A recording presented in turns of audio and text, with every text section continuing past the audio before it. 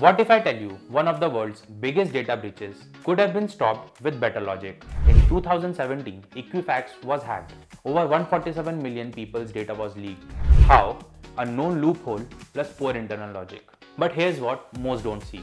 Ethical hackers use DSA, data structures and algorithms to trace these loopholes before hackers do. While DSA is often linked to coding interviews, it can also support the foundations of cybersecurity. From stopping million dollar breaches to defending national infrastructure, DSA is what ethical hackers swear by. From using graphs to track network movement, hashing algorithms to safeguard password protection, and trees for role-based access, and so on. DSA structures is equal digital logs plus surveillance systems.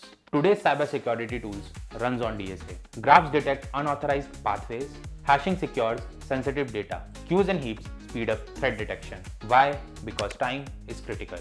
DSA reduces complexity, making cyber defenses faster and smarter. In security, even a second of delay can be a disaster. DSA isn't just a path to landing a job, it's a tool for tackling real world challenges. Discovering where it's applied can lead you to careers many overlooked. Drop your doubts in the comments if you're coding for real impact. Like, share, and follow Smart Interviews, TechMade Practical.